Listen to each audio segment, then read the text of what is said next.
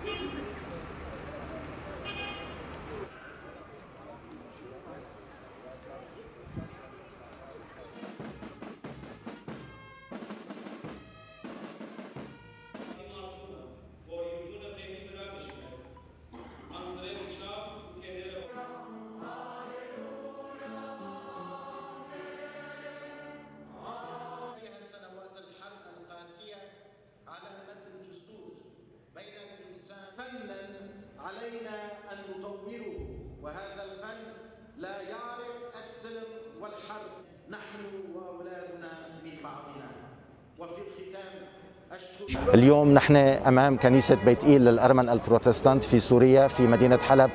وكنيسة بيت إيل كانت صرح حضاري وصرح اجتماعي وخيري خلال السنوات الماضية الحرب بهالكنيسة نحن شفنا أنه كيف المسلمين والمسيحيين مع بعضهم أجوا والتقوا. هيدي كانت نقطة تلاقي لإعادة تأهيل لشبابنا وبناتنا وبنفس الوقت لقيام صلوات آه، تجاه ربنا إنه ربنا يعافي سوريا وتحمي يحمي سوريا.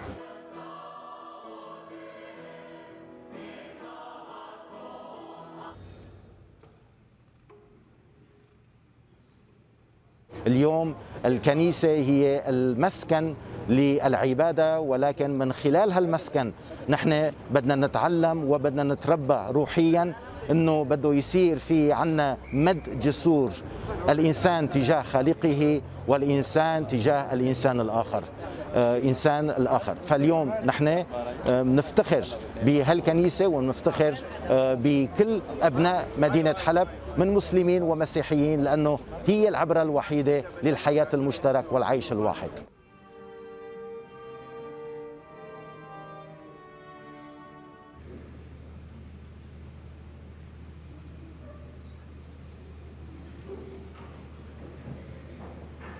طبعا آه، كيلومترات جدا قليلة آه، بين الكنيسة والمسلحين.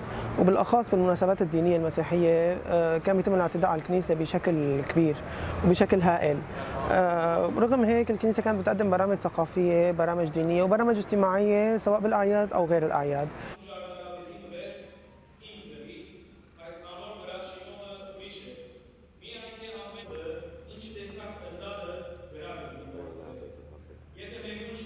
كنيسة بيت إيل الألم بروتستانت آه، هي كنيسة بوسط حلب تقريبا آه، استغرقت ترميم الكنيسة تقريبا سنتين.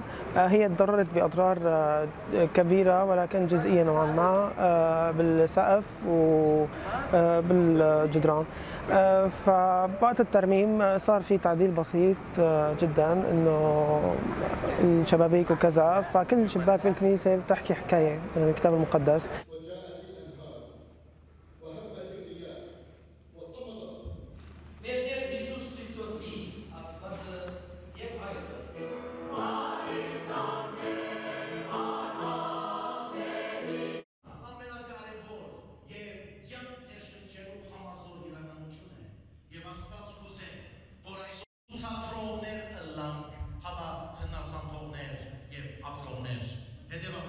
Սեմիներ, եկեղեցի շինությունը իր մեջ ունի հին